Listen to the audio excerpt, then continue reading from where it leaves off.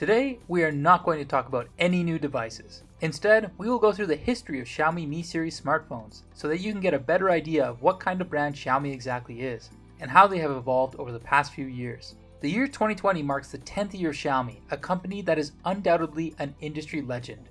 In this decade, Xiaomi has not only ranked among the top 5 in the world in terms of smartphone sales year after year, but has also made it to one of the top 500 companies in the world. And in its 10th year, the Xiaomi Mi 10 marked the beginning of a move away from being extremely cost effective flagships and into the high ranks of high end and premium phones.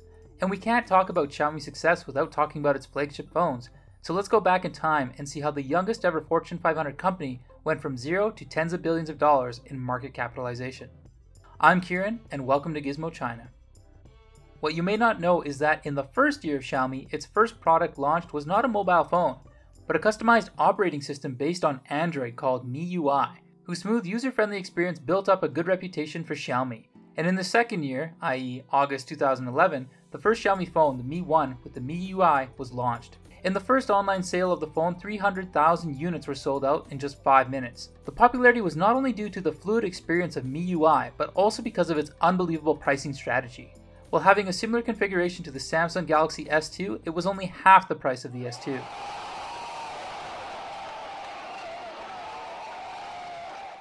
Coming with the Snapdragon S3 1.5 GHz dual core chipset, a 4 inch display with 245 ppi and 1GB of RAM, all of which were top configurations back then.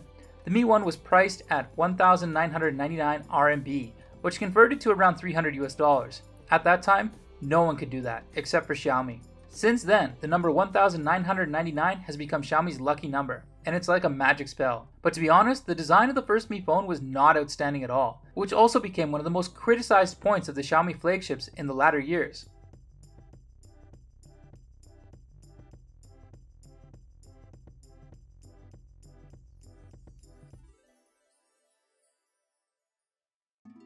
In the summer of 2012, Xiaomi released the Mi 2, which not only had an upgraded SoC, but also had a bigger screen with a 342 ppi resolution, which was even better than the Apple iPhone 4S, and it was equipped with 2GB of RAM, which was not common at that time. The Mi 2 continued Mi 1's trend of offering superb value for money and also continued to gain strong support from Mi fans at the same price of 1,999 RMB. Hundreds of thousands of Mi 2 in stock were sold out within minutes each time. However, the most famous model of Mi 2 series is not the Mi 2, Instead, it's the Mi 2S released in 2013. In that year, Xiaomi released three phones the Mi 2S, the Redmi 1, and the Mi 3. The Mi 2S was an improved version of the Mi 2 with an updated MIUI, a new Snapdragon 600 SoC, and, as usual, the same price at 1,999 RMB. While the Android phones of the same period were relatively less powerful, the Mi 2S had a clear advantage at the time with excellent performance and powerful software support. And thanks to the long official support from MIUI 4 to MIUI 9, the Mi 2S has become one of the longest lived models among all the Mi phones. Because of its strong performance, it is still able to run some of the mainstream apps of today. Even now, there are some users who haven't given up on this model. That's why the Mi 2S was also known as a classic magic model by Mi fans in China, just like the iPhone 4 for Apple. Although Mi phones have had great sales success from the Mi 1 to the Mi 2S, too many consumers complained about the lack of stock all the time. Many of them started questioning Xiaomi as a monkey tricking company that uses thirsty marketing strategies to consume users' patience and enthusiasm. But the partial reason might be that as a startup lacking production capacity, Xiaomi didn't have the ability to quickly respond to the huge market demand. By the way, the first Redmi phone was released in the same year. As Xiaomi's first sub brand, Redmi took on the role of Xiaomi's foothold in the budget market. For only around $120 USD, you could get a branded quality phone that was good value for money, which was a rarity in the global phone market at that time. More than 9 million pre sales orders also proved the Redmi brand was on the right path, and the Xiaomi brand continued to build up its strength to make real high end flagships. If you are interested in the story of the Redmi mobile phone, please leave us a comment down below. If we get enough interest, we will also make a video detailing the history of the Redmi in the coming weeks. Now coming back to the Mi 3 flagship released later that year. Xiaomi abandoned the mediocre design of the predecessors and changed it into a totally new design with a more angular appearance. It came with the global debut of the Snapdragon 800 SoC and an upgraded 1080p display with a 441 ppi resolution. And the Mi 3 was the first Xiaomi phone that had a non-removable rear cover. Thanks to the more integrated body, its battery capacity was improved to 3050 mAh. Even with all these significant upgrades again, Xiaomi continued the pricing strategy of starting at around 1999 RMB, not disappointing fans who believed they could get the phone at the amazing 1,999 RMB price tag. Clearly, it must have taken Xiaomi a lot of courage and effort to bring such an important product at such an affordable price. However, the Mi 3 became a unique model in the history of Mi phones, with people's polarized reviews. In addition to the praises about the upgrades we mentioned, some accused it of copying the industrial design of the Nokia Lumia series and complained about its poor build quality. In the summer of 2014, after the controversial design of the Mi 3, the Mi 4 was released. For the Mi 4, Xiaomi put its focus on the phone's design upgrades, with the slogan of a steel plate's artistic journey. It was the first time a Mi phone used a metal stainless steel frame, and shifting from the angular style of the Mi 3, the Mi 4 returned to the design of the Mi 1 and Mi 2 series. The back cover had a special pattern design, and the whole machine got a huge boost in build quality. Unsurprisingly, 2014 was another year of big sales for Xiaomi. In 2015, there were no updates of the Mi series. Instead, a new series was launched, the Xiaomi Note 1. As Xiaomi's first attempt to hit the high-end market, the new Note 1 was not successful. The lack of fingerprint reader and the 4-month delay in the launch of the Snapdragon 810 SoC due to overheating issues left the Note 1 behind most competitors as soon as it went on sale. The lack of a widely praised flagship model in 2015 hinted at the oncoming darkness for Xiaomi. In early 2016, the Mi 5 eventually came out. With its first attempt at a ceramic back cover, a white front face, and a home button with a fingerprint sensor, and the latest Snapdragon 820, it was supposed to sell very well for a starting price of just 1,999 RMB. But the sales of the Mi 5 again were delayed by nearly 8 months, and it was out of stock for a long time after it went on sale. The delay affected its sales significantly, and it was this time that the brand was called out by most fans for its hunger marketing. Basically, fans were frustrated that Xiaomi's best products were not easily available for sale. But fortunately, there was another heavyweight that took the stage in 2016 the Mix 1. For the first time in the history, users saw and admired Xiaomi's industrial design capabilities on the Mix 1. It came with a full screen design with three super narrow bezels and a selfie camera on the chin below, which made it pretty stunning at the time. Even today, it still looks pretty impressive.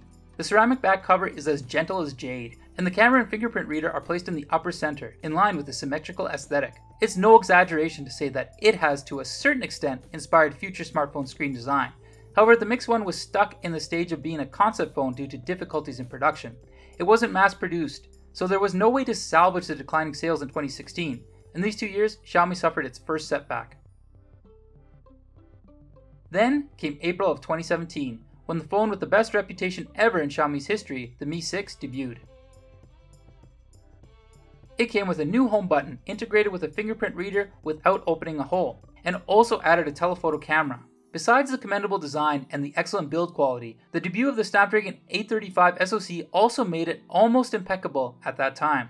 The Snapdragon 835 was the best Android chipset in record years, with its excellent power and cooling performance. With almost no shortcomings, it was no longer priced at the familiar 1,999 RMB, and became the first model in the Mi series to start at more than 1,999 RMB. However, the 2,299 RMB starting price didn't stop fans from purchasing the device. The success of the Mi 6 finally broke the price barrier of its flagships and further verified the importance of the product quality and performance. And so far, the Mi 6 is still the only Xiaomi phone that has never dropped in price from launch to exit. In 2018, Xiaomi skipped the Mi 7 and released the Mi 8. The Mi 8 has been controversial since its release. It did look like the iPhone, and the Mi 8 became the least distinctive model of the whole series. Even the infrared emitter, a standard feature that Mi series prided themselves on, was removed. Despite this, sales of the Mi 8 continued to rise because of its excellent value for money. At that time, you only needed to pay 2,699 RMB to get a flagship having a Snapdragon 845 SoC, dual band GPS, and infrared facial recognition for unlocking even in the dark. And more importantly, this was also the first time that Xiaomi started paying attention to the phone's camera. Meanwhile, the camera department started to run independently to serve all the Xiaomi phones. In 2019, the Mi 9, codenamed Battle Angel, was launched. It featured three rear cameras, a primary camera, a wide angle camera, and another telephoto camera, first time achieving three stages of focal length coverage. The Mi 9 scored 107 on the DxO Mark test at that time, placing itself in third place. It's also the first time when we really saw Xiaomi being praised for its camera system. Another selling point of the Mi 9 was the thinness of 7.61mm and the light body weight of 173 grams. With a curved glass cover, the phone did feel pretty impressive when holding in hands. but the compromises of the Mi 9 was that the battery capacity had to be cut down to 3300 mAh. The limited battery life also became the main complaint for the Mi 9, which to some extent affected the overall sales of the model. At the same time, the Xiaomi founder, Lei Jun, said that the launch of the Mi 9 selling for 2,999 RMB was the last phone to be priced at under 3,000 RMB. Over the years, Xiaomi prepared well for the transition to the high-end market. As expected, the Mi 10 powered by Snapdragon 865, which started at 3,999 RMB, was released this spring. The Mi 10 comes with a 100 megapixel main camera, a 90Hz curved hole punch display, LPDDR5 RAM, plus UFS 3 ROM, and most importantly, 5G network support. However, although the price was almost twice the initial price of 1,999 RMB, there was much less complaints over the Mi 10's pricing strategy. Compared to the other brand's flagships, the Mi 10 is still one of the most competitive models in the market in this price segment. And besides the Mi 10 itself, Xiaomi offers several models of the Mi 10 series, which were developed for different market segments and regions, such as the Mi 10 Pro, 10 Lite, and 10T, and so on. No doubt the most famous model is the Mi 10 Ultra, specially made to commemorate Xiaomi's 10th anniversary. It's almost the first Mi flagship that took an all-round lead among Android phones and had such high pricing. Xiaomi has been recognized as a special brand to make phones with great value for money. Although the flagship Mi series will no longer come with a mid-range price tag, the sub-brand Redmi has taken up the market of budget cost-effective phones.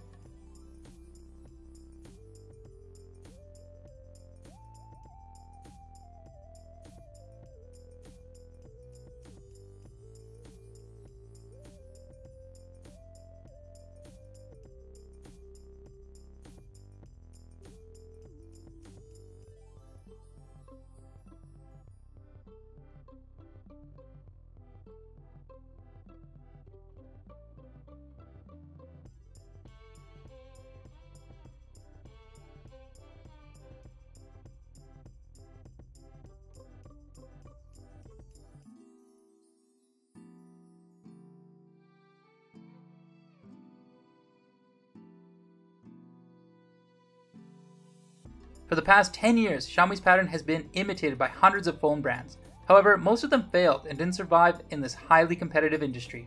On the other hand, we do have to add that Xiaomi is not perfect. At least, it's still facing the dilemma between pushing higher brand value and maintaining existing user base. And no doubt the success of the Mi 10 Ultra has encouraged Xiaomi to break the dilemma. The Mi 11 is about to be released, and we're really looking forward to Xiaomi bringing us a surprise. Gizmo China will also bring you all a series of review videos about the Mi 11 as soon as it's released. Just click the subscribe button and stay tuned to our channel. And if you like our videos, kindly give us a thumbs up. Thank you for watching. This is Kieran from Gizmo China, and we'll see you soon.